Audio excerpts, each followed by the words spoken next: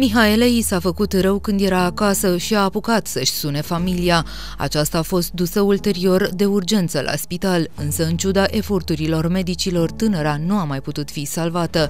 Mai bine de o oră s-au chinuit doctorii de la Spitalul Județean să o resusciteze. Dumnezeu să ierte! Am rămas astăzi dimineață, mi-a spus soțul că a venit de la serviciu și îmi pare rău atât o știu pe luminița și mă doare sufletul.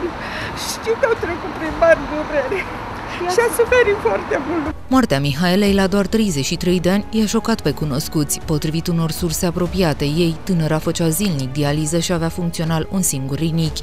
Medicii din Franța i-au oprit medicația pentru a o pregăti pentru intervenție. Aceasta urma să facă acolo un transplant. Am înțeles că a fost, a avut o problemă de sănătate, nu știu, probabil că, nu știu, am înțeles că s-a tratat în America un timp și inima a cedat. Eu nu știu multe detalii, am auzit și eu colateral. Pe paginile de socializare, prietenii și cunoscuții i-au trimis mai multe mesaje de condolențe.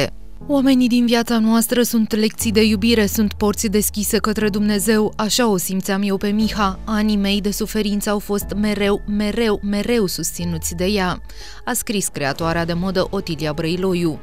A murit Mihaela Galani, o tânără afaceristă din Constanța. Durere fără margini pentru întreaga familie, zguduitor ce s-a întâmplat și cu fratele ei Geamăn. Am inima împietrită, a spus Cerebel. Despre frică m-a învățat să o transform în curaj, deznădejdea m-a învățat să o transform în credință, durerea m-a învățat să o transform în iubire. A scris o apropiată a Mihaelei. Trupul neînsuflețit al Mihaelei a fost depus la Catedrala Arhiepiscopală, iar miercuri va fi înmormântată.